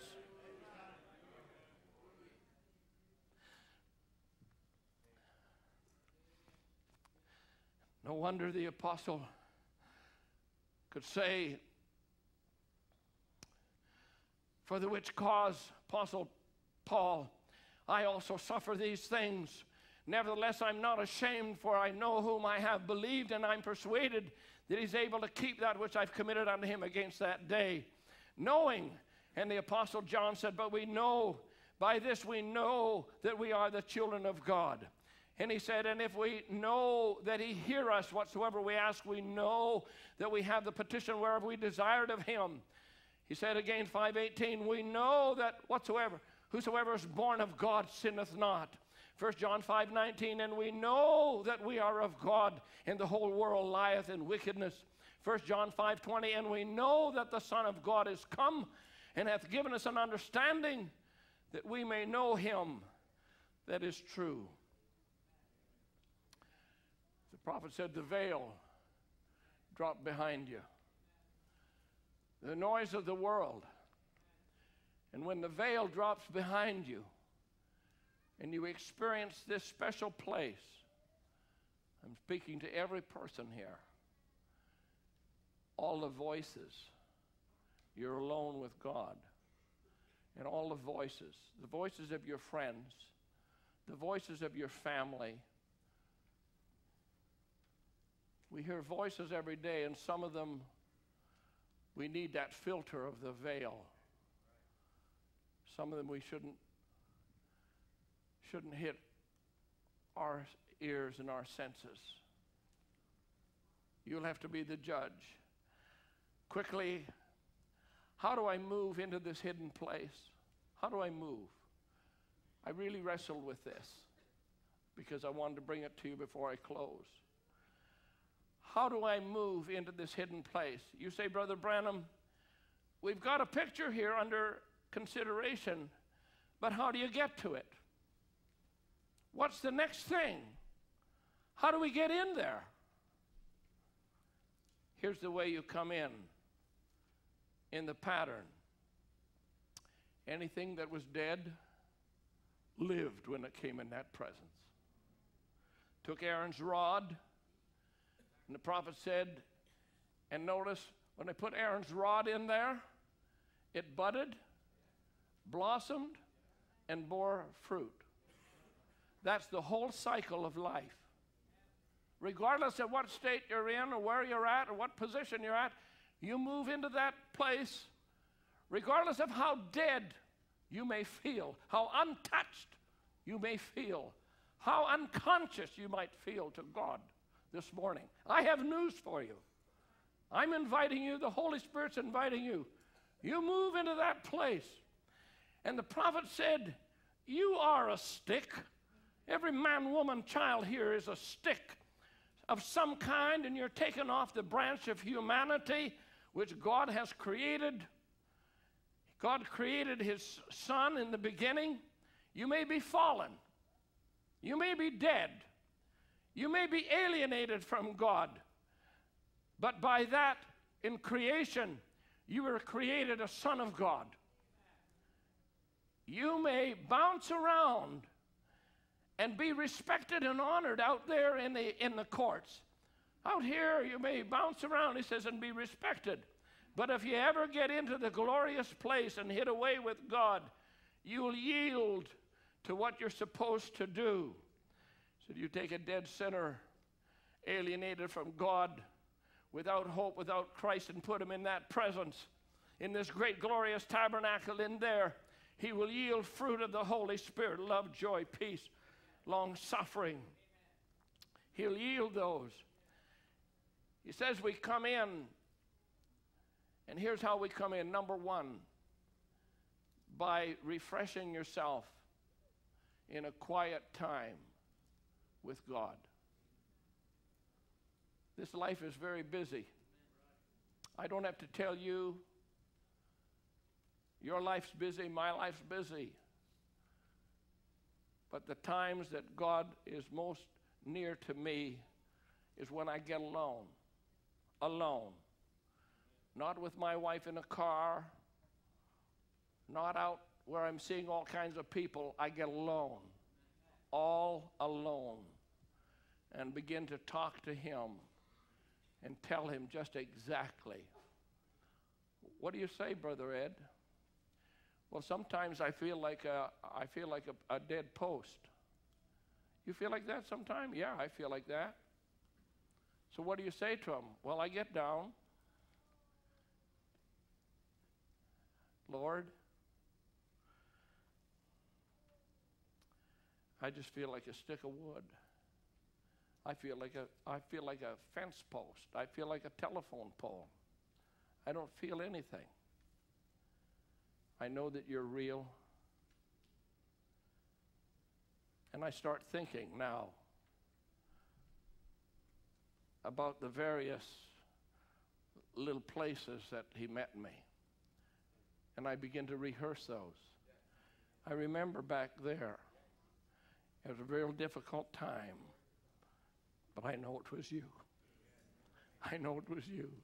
I'd have never made it on my own. I know that you met me back there. And then there was another time later in my life, and I knew that was you. I knew it was you. Nothing could do that but you. There was a time when it seemed that all hell came against me, ready to tear everything up. But you gave me a word. You know something, friends? You don't do that very long. You start telling him and thanking him, and his presence will just come and surround you and begin to move through you and permeate you, and you enter into a relationship. Are things any different outside? No, not necessarily, but they're different inside. And you have a newfound strength. You have a newfound, that relationship invalidates what the weather is and what the job is and what the finances are and what's happening in the church and what's happening in this person or that person. We have great burdens, but that presence invalidates it, it overcomes it, it gives you strength beyond that. And with this, I close.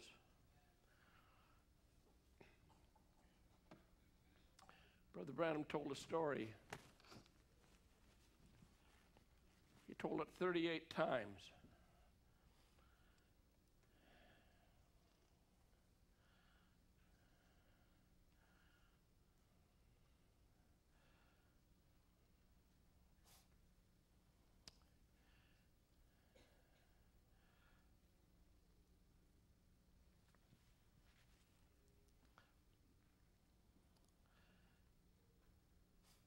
The story is about, you all know it well.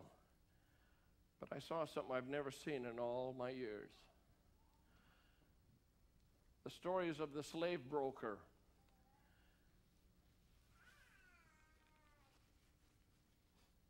That was buying slaves.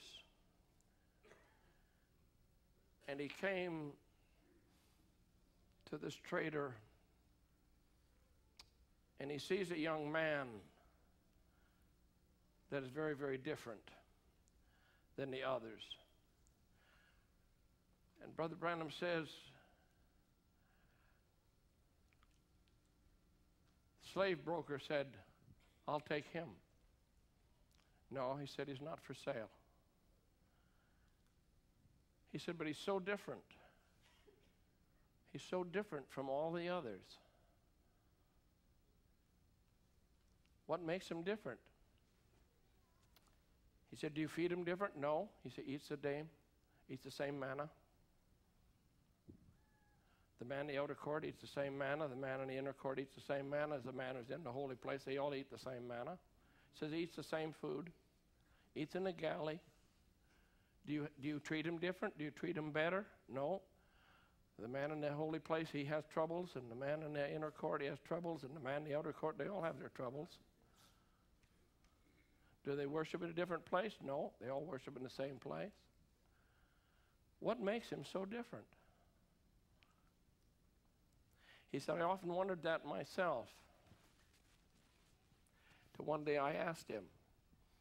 He told me he was a he was a son of a king of a tribe in Africa. It said, and he conducts himself in such a way, and 10 times out of the 38 times, 10 times, Brother Branham makes this comment and makes this reference that this young man said to his broker, and the broker said to him, he, he lives this way, he acts this way to keep the morale of the others up. So it isn't only that he had, he had a knowing. When you come into a place and somebody tried to tell you you haven't met God, say, I'm sorry, sir, I'm sorry, ma'am. You have no idea what you're talking about. I know I'm a son of a king. I know I'm the daughter of a king. I happen to know the royal seed that I came from. I happen to know the family I'm associated with. I happen to know the God who has given me birth. I have experienced this. And he said, with that knowing, he conducted himself in such a way, he just handled himself differently to keep the moral, the morale of the others up. Somebody beside you, somebody in this congregation isn't having the same knowing that you have, but they need to be able to look at you and say, you know, that person is so different. That brother, that sister, that young person is so different. I crave to live that kind of life. I crave to have that kind of victory. And there's a, there's a fragrance. The prophet said it in there, you had to be anointed with the, with the oil of the rose of Sharon, the fragrance. Then he said, Have you ever met anybody that's been in there? Have you ever met somebody that's been in there? He said, They're like, said, they've had a quiet time and they're so fragrant and their life is so fragrant, so at peace. He said, If you come out in the morning, early in the morning, and the whole earth has laid quiet at night, and the dew has fell softly, and the fragrance is so sweet, and you come out, and the whole of creation is so peaceful and quiet. And he tied that directly to the person that's been in there. They come out. He said, Have you ever met one? Tell you what, friends, if you haven't experienced that place, and maybe you have, but we, we are enticed and we come back out and we get all filled with anxiety in this world. I'm closing now. I'm just saying to you, He's waiting. He's waiting. He said, I'll meet them in there. And there's a special place. And our Lord, our Heavenly Father, the Shekinah glory that never goes out, is longing for that moment. And I'm, I'm inviting you to move into that moment. Take that, you have to go in quietness, and you have to go in by invitation. I'm not just a preacher here today. God didn't give me this message for any other purpose but to end up by these words You are now being invited into that Holy of Holies and to dwell there to receive all the benefits that come from that glorious place. Isn't he wonderful? Let's bow our heads. Our Lord Jesus, there's something special about this moment. We've been speaking of you. We have been speaking to the very best of our ability to lay it out to the people how your prophet described inner rest, inner rest, the hidden life. And oh, we love that hidden life. We love that inner rest. We love seeing what you're doing. We love your moving of your Holy Spirit. We love, Lord, when you take and move through the aisles of the church into the homes, into the places where people are now streaming. Move in amongst them, Lord. And I pray that you will take us into that secret hidden place. Lord Jesus, some of the people, no doubt, are just unsure of how, how to do it. Would you take them by the hand, I pray? And those that are especially in need, oh God, that have lived a very unstable life, they don't want to, they're eating the manna. They believe on you. They are daughters and sons of God. But you want them to come into a place of sweet communion. Lord Jesus, I commit them to you now. The name of our Lord Jesus Christ. Uh, we love you, Lord. Could we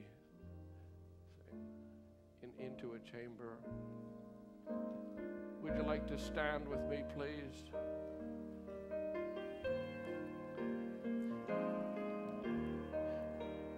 Into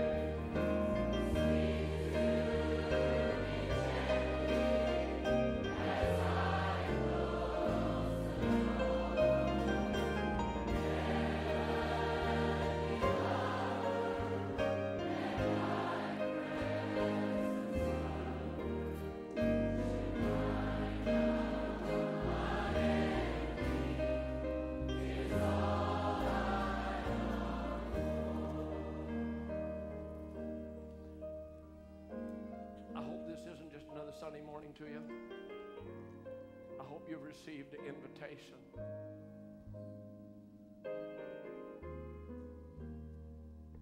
I hope you make a decision for those that need to make the decision. Brother Ed, two things. I've made the decision and I'm moving. I received the invitation and I'm moving into that secret place, that special place. Listen, friends, Satan's going to do everything he can to keep you out of it, but you resolve today I'm moving into that sacred place. I'm going to move into that special place. I'm moving in where he said, I'll meet you there. You feel his presence, you sense his nearness.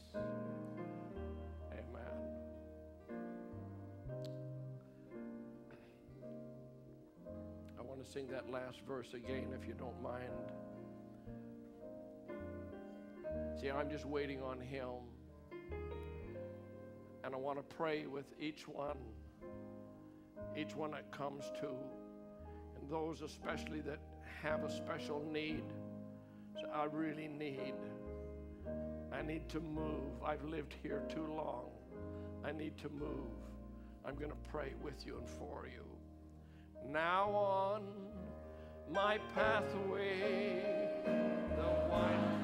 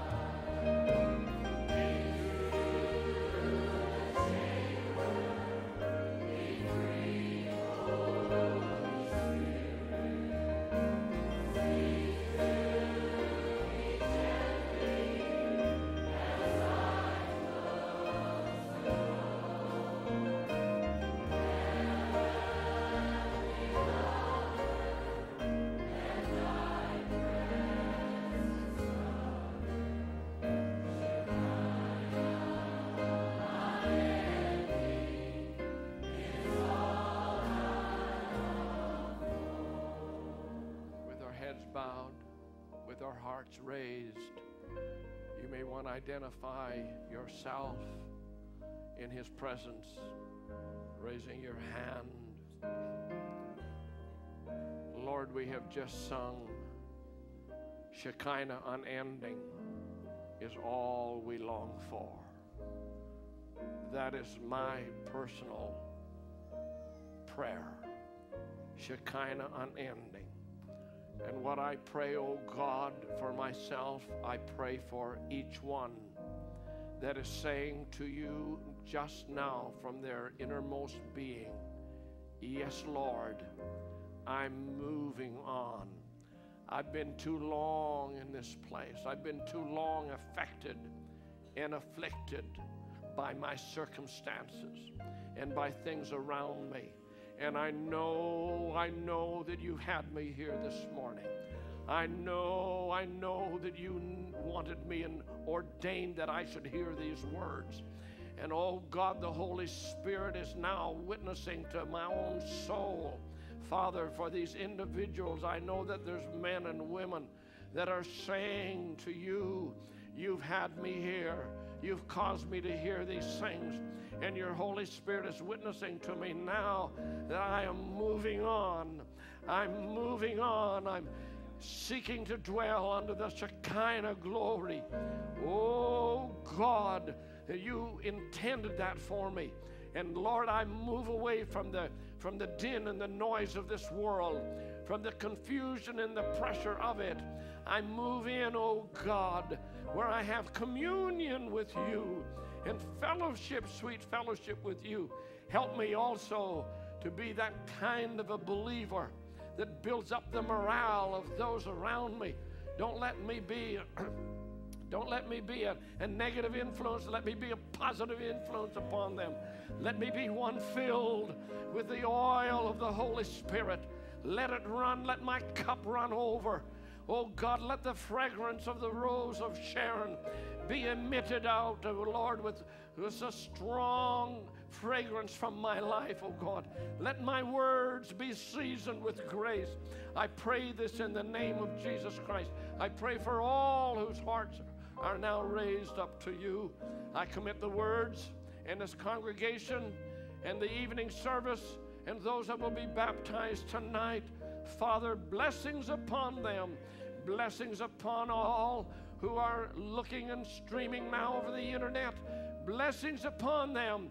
Touch them, body, spirit, and soul, I pray, in the sweet, lovely name of our Lord Jesus Christ. Amen and amen. Just before we shake hands, I want to sing with you. I'm sheltered in the hands of God. Let the winds blow, let the storms rage high. I cannot be moved. I'm sheltered in that hand. Hallelujah. As I look across this congregation, I just think of one victory after another, friends. Every week, every day, there's marvelous victories. Let's glorify Him now. So let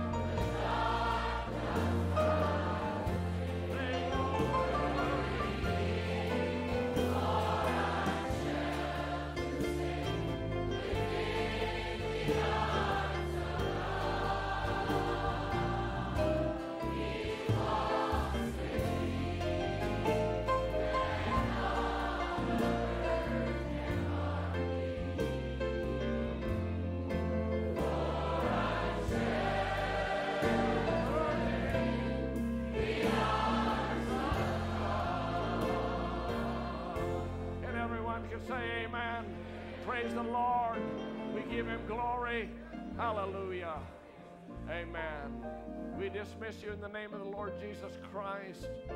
Just obey the Lord. God go with you. Give you a refreshing afternoon. And Be here this evening. Joining in with those that are going to be baptized in the name of our Lord Jesus Christ. Isn't he wonderful? Oh, this is the best place in the world to be right now. Amen. You're dismissed in Jesus' name.